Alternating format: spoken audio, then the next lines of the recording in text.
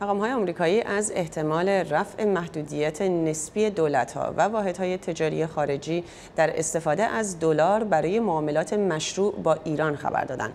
تحولی که می‌تواند برای اقتصاد ایران مفید باشد.